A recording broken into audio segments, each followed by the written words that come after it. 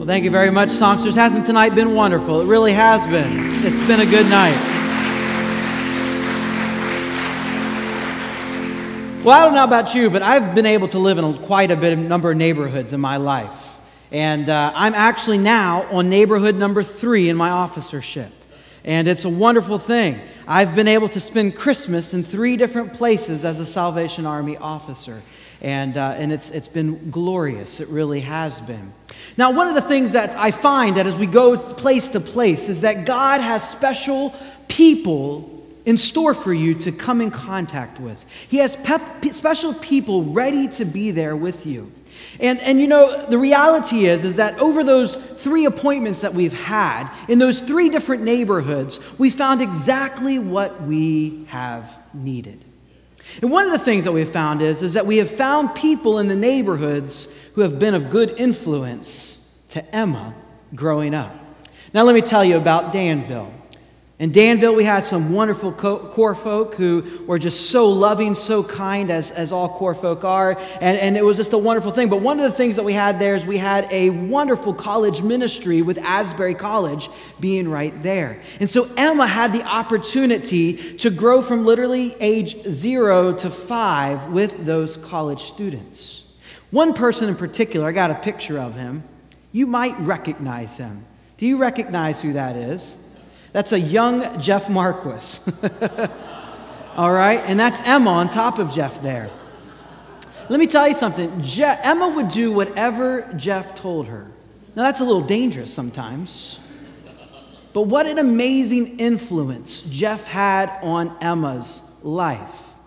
Jeff would teach her so much, and it was good. It really was. And Jeff would love on her. And it was a wonderful thing. Jeff would be at our house any, anywhere between three, four, five times a week during the time that we were in Danville. At one point, he lived with us. And it was a wonderful thing that living in that neighborhood, Jeff had such an amazing influence on our family and on Emma.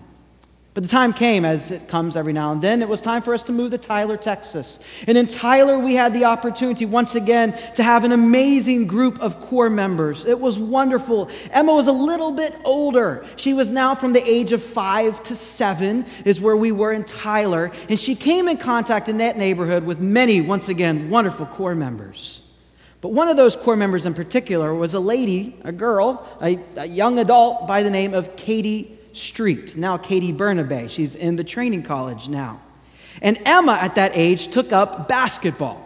Here's a younger Emma in her basketball gear and getting ready, and she, she played for upward teams. And Emma had a little bit of, of struggles with this, I guess you could say, because she says, Girls don't play basketball. Yes, they do, Emma, and they do it very, very well. And Emma actually turned out to be quite a good basketball player, but it took some time in that neighborhood in Tyler with Katie shooting baskets with Emma night after night.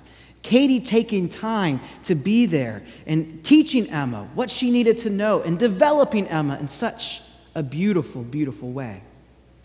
Now, here we are in our fourth Christmas with you all, and it's been wonderful. And, and, and it's been a wonderful appointment here because each and every one of you have, have placed your special mark upon our lives, upon our families' lives, and upon Emma's life. Each one of you have a special role that you play. And some of you saw that role today played out. Let me show another picture. This was right before the service today. And there's Emma, and people like Megan, and people like Jessica who are still pouring into her life in the neighborhood that she now lives in. Isn't it wonderful that God has plans? He has ways for us wherever we go, where we live right now. In the message translation of John chapter 1, we find Eugene Peterson saying that familiar passage of Scripture. Let me read John chapter 1, starting at verse 1.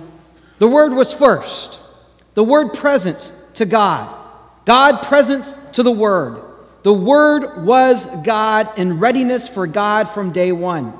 Everything was created through Him. Nothing, not one thing came into being without Him. What came into existence was life, and the life was light to live by.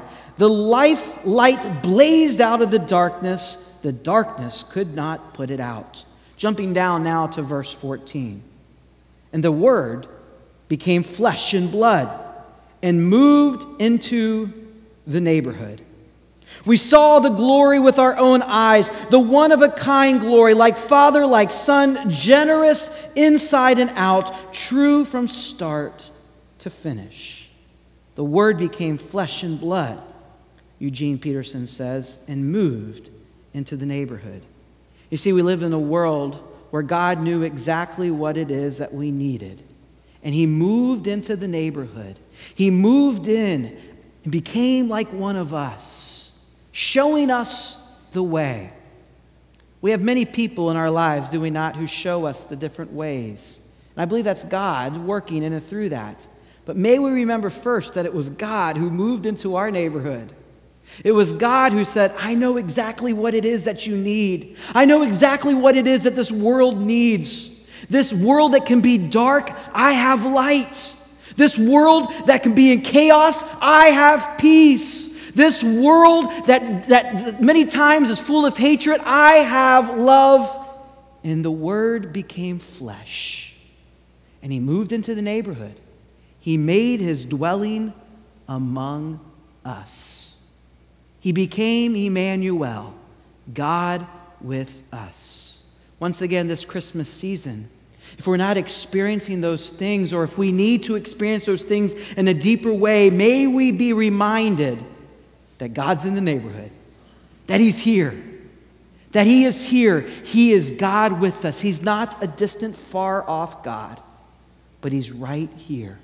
And may our eyes, may our ears, and most importantly, may our hearts be open to what He desires to do for us, in us and through us this Christmas season. Let's pray. Our Father, once again, we thank you so much for your word. We thank you so much, Father, for your word becoming flesh